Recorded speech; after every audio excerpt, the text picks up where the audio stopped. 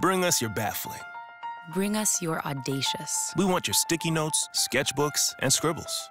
Let's pin them to the wall, kick them around. Kick them around, see what happens. Because we're in the how do I get this startup off the ground business. The taking your business global business. We're in the problem solving business. 400,000 people. Ready to help you solve problems while they're still called opportunities. opportunities. From figuring it out to getting it done. We're here to help. Well, I mean, again, we it's. Um, I'm proud of our team as we talked about last week, getting the uh, big win over Buffalo and um, getting the team becoming bowl eligible for the first time in 10 years. Is a. I don't want to. I, I want to again say how much I appreciate the players and what their commitment was has been to take this program back to that level, to that to that for the second time, school history. Didn't what I say. Um, back to the bowl to a bowl bowl eligibility. I did think it was probably as good a game overall game performance as we've had. I mean, we did very well. I think back to Louisiana, Louisiana, and some of the games we've played, that was as good a team performance.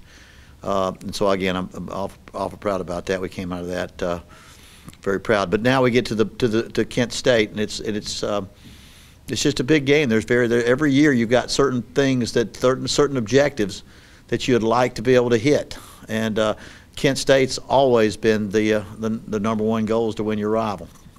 And uh, Kent State comes in, and we come, uh, and it's a uh, big game for both of us. They uh, beat us last year. They took the wagon wheel over there. Our players remember that. Kent State's got a very good football team.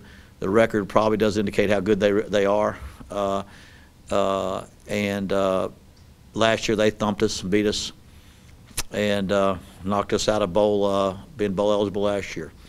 And so, um, um, just a big game against a very good team, and our kids have uh, they know the importance of it. It's it's just it's important to us, and it's a big rivalry, and um, we're we're working hard to be ready for it. You know, you know I, I, I, I really don't read enough because the way the, the, the few people who've come around me say there's so many bowls out there they may have to have five wins teams go to bowl. So I have no idea. I have no idea. I know we have to win to guarantee ourselves a situation that we can control. Uh, and that's what. Uh, uh, so I'll know a lot more now than I did even after the game. I, have always. I'm, I'm old school. You know, you don't just go to a bowl game because you're bowl eligible. Uh, I don't know the answer to that completely, uh, because but there are people that do. I just don't. I don't know how many teams are eligible how many teams are will become eligible. I just know what the, I've seen several articles say there's 40 bowls, that's 80 teams, and there's 71 teams with six wins. So I have no idea the answer to that, but I do know that it doesn't diminish the winner. Whether it hap, happens to be true or not, it doesn't diminish the importance of this game, as far as how critical it is uh, to us to play our rival. We want, we want, we, our kids want to win that rival. That it means a lot to them. When when you get here, uh, and and you've been coaching and playing football all your life. College football has been my life, even when I was a small child. West Virginia Pitt. I mean, across state. I mean, across the border rivalry, uh, border war. I mean, that was incredible rivalry, mean spirited rivalry. And then I go to Florida, Florida State. You know, and and and, now you're the little you're the stepchild you're the red-haired stepchild that nobody gives respect to. And you're but it's a huge rival Miami Florida State uh, Florida Florida State. Then you coach at, at Alabama Auburn and you got to play Alabama and you find out what it means to be a cross state rival. And it and, and how big that is and I, I I found out at, at Auburn you could be you could be actually it was it was you could be nine and zero oh and have saved your job but you hadn't saved your career because you ain't beat your last two games are always Georgia and Alabama. Those are your rivals because you got you got and, it's all going to be about how you do against your rivals. Then I come here, and even when both teams aren't having great years, you live in the same street. It's it's across the street rival. It's a rival that where people who have no the, the, the no that has nothing to do with your record because a lot of years neither team had a great record. It's it's the the, the the, the graduates go to work together. They they shop in the same shopping centers. They live on the same streets. It's I mean as much as Kent's over there and Akron's over here, it's all part of a bigger community. So now you've got to cross the street rivalry. And it and it here it carries a lot more weight to our alumni than you would and then when you get here and you understand that. You watch that wagon wheel go to the other building Uh, and you know that many years that was the only that was the only thing you could have to save your season, was that game. And so right now, it, it, so you begin to understand it. It it uh, it's exciting. It's exciting to have a rivalry. I I, I don't think I ever or I, I would ever want to be a. I, I, I'm glad every university. You wish every university could have a great rivalry because this is a very very good rivalry, but it's one you don't want to lose, and it one means a lot to the people at these two institutions. There's always one more game there in coaching there's always one more game and so if you live your whole life well that we finally got there. No there's always one more game. All you got to do is find out what it's like to win 10 a year or 11 and find out you better win 12 or you're going to be gone or if you've set the t- so it doesn't matter where you are. That was another goal that we have to reach. Is it the goal that we set for ourselves here? Not at all. Our goal is to be the top team in this conference. Our goal is to build a championship team and championship relative to the Mid American Conference is a team that wins can win the conference. So we but but but is that a goal? It's a milestone. Yes. You know, like I said, there's four. There's probably four goals at Akron that you that anybody that comes here is going to set. And that's uh, uh, uh, bowl eligible. You know, Kent State, win your division, win your conference. I mean, whether someone could say, I want to make the Final Four and get to the playoff for championship, you can do that if you want to, but I don't know if you need to even think about things like that. But uh, but uh, so so, but that's the way I look at it. I mean, it, it, it goes about as far. You know, you could say uh, um, yesterday, last week, well, what a load off your mind. You got six wins. Your ball. No, it didn't. I mean, we, we got Kent coming up. I don't want to. I don't want to go. I want to win this game. This game is the end, last game of the season. This game gives you seven and five. This game gives you the most wins during the regular season since 2003. You know, um, and uh, um, so it's a, and it's Kent. So it's so uh, um, like I say, in, in, when you go to a program, you build a program. There are milestones that you want to hit, and then once you hit them, if you hit them again, then you, you, you better hit them every year. So it's it's it's it's relative. Go look at Les Miles and all the stuff you hear read about Les Miles at LSU this week and how, how you know. That's old news at this point. Uh, well, the point is, the point is, you create your own monsters. You know, you create your own deals. So as soon as you, as soon as you get good, you got to get better. So, like I say, it's. A, I'm, I'm proud for our team. I'm proud for our players. It's exciting. It's exciting. I tell you what's exciting is to be in November and have these games mean so much to this program. To be to, to you pay what? I don't, I don't know how much you pay for a ticket, but the value of the ticket stays. For the value of the ticket to be as to be as valuable at the last of the season as is at the beginning, is what you're supposed to be able to do, and uh, it's a, it's going to be an exciting day. I think so. I mean, I think so. And there's so much more he can go. He's he's he's progressing. But when I look at his confidence level, I look at his. Uh, uh, uh um, his his taking upon himself to make plays. You know, it wasn't the throws; he made good throws. For we, we, you know, the plays that he called happened to be open that scored touchdowns, and he hit them. But the way he ran aggressively on third downs, the way he understood where the down and distance was, the way he, the amount of emotion that he carried, I think we saw him begin to see uh, the role of quarterback. Uh, being more than just a, an arm and a leg, it's it's a it's a mentality, it's a, it's a leadership position. Absolutely. I, I, I, I, I think we've had a work in progress offense for the entire season uh, because we've gone from this quarterback to, well, this quarterback, then to this quarterback, and what do we do? And I think we've been able to tailor it to, to uh, begin to tailor it, and we're beginning to see what we can do, what Tommy uh, Woodson can do. Uh, and so, uh, um, now, I think I think Kent's probably one of the top three defenses in our conference, and they're going to dictate what we can do. Uh, and so that's a lot. You know, you we, we do a lot better when the team's not as good on the defense as when they're good. Problem is, they have a great secondary in Holley, Italiano, and Monday. They're the, they're the number one pass defense in the in the conference. They they got a very physical front.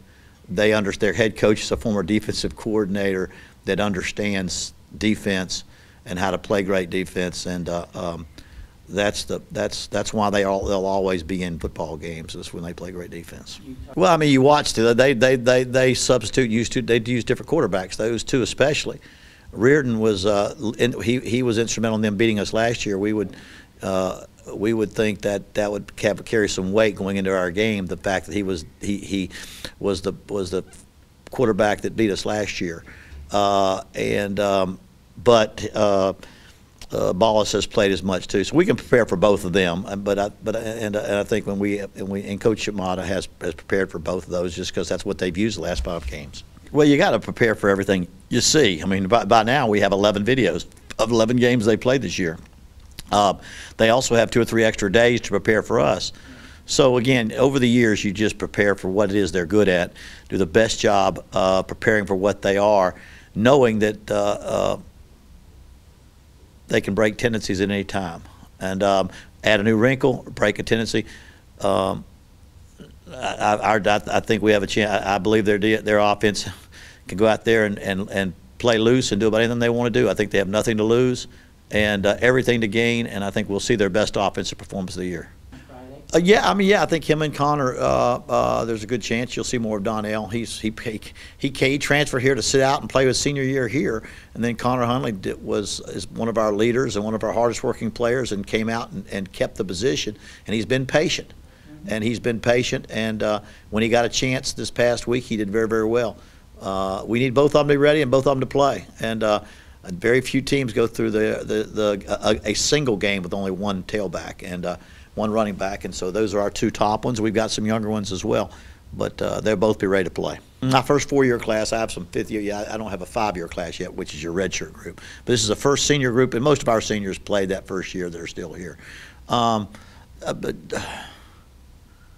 to me, to me, uh, uh, great trust. I think there's great trust in this group of people, and I and I'll throw in the fifth-year seniors like Cody, Isaiah, Bryce, uh, Brumbaugh, Bohan, um, Kyle Pohl, uh, these fifth year guys, I think trust because when you say this is where we're going to go and this is how we're going to get there, this is where we're going to go, this is how we're going to get there. Uh, they have to buy in. They have to trust that, that, that, that they have to trust that plan. They have to trust their second staff.